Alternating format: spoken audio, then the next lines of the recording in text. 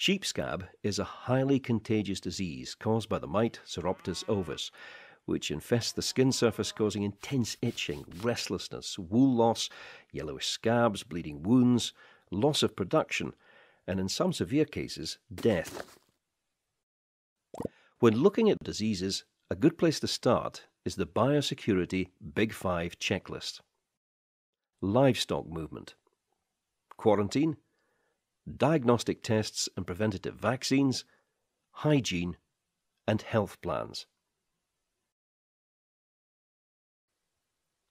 Livestock movement is the most likely way to introduce disease onto your farm. In an ideal world, you would run a closed flock, but failing this, buy a replacement stock from accredited or trusted sources. It's sensible to always check the disease status of any newly purchased or returning animals, even if it's just from the local show. It's vital also to be aware of the fact that infested sheep may not show any clinical signs for weeks or even months after infestation. Always keep introduced animals isolated and ensure best practice quarantine conditions, ideally in a building well away from other animals. Quarantine advice for sheep scab is to treat with an approved product effective against sheep scab mites and isolate them for at least two weeks.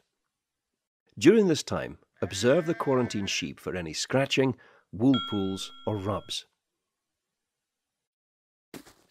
Now it's worth remembering that as well as transferring directly from sheep to sheep, sheep scab mites can live off host for 16 to 19 days, meaning that fences, loose wool, sheds, transport, etc., can all be sources of infection. Double fencing with a gap of at least 3 metres is recommended.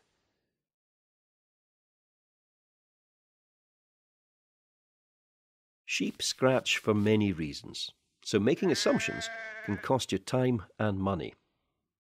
Remember that in the early stages of sheep scab infestation, there will be no evident clinical signs. The new diagnostic for sheep scab, which has been developed by scientists at Moredun, is very effective at diagnosing early infestation. You only need to take a blood sample from a small proportion of the flock, say a dozen from a group of up to 2,000 sheep. Treat all sheep in a group diagnosed with sheep scab with an approved product. Knowing disease status is important, and prevention is always better than cure. Hygiene is very important when preventing disease. Always practice good hygiene, including the use of effective disinfectants. Remember, not all disinfectants are effective against all pathogens. Therefore, it's crucial you choose a disinfectant that will kill the pathogen you are aiming to control. Remember, sheep scab mites can live off the host animal, so it's very important to disinfect any shared equipment between flocks. Provision of good environmental conditions will also lead to a reduced risk of infection. Clean, well ventilated, and well bedded housing all help to promote good health and reduce pathogen numbers. You can help control the spread of disease by developing flock health plans in consultation with your vet. This allows you to create a disease control strategy before busy times, such as lambing, which can save you many headaches. These plans ensure preventative vaccines and diagnostics are used at the correct time, as well as screening and regular monitoring.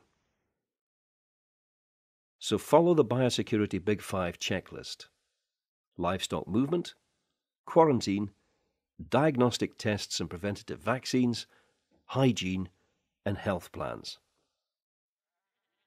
At Moredun, we are continuing to research into many key livestock diseases, focusing on diagnostics, vaccines, and disease control strategies, all aimed at improving disease prevention in your flocks and herds. If you'd like more information on sheep scab, please visit the Moredun website.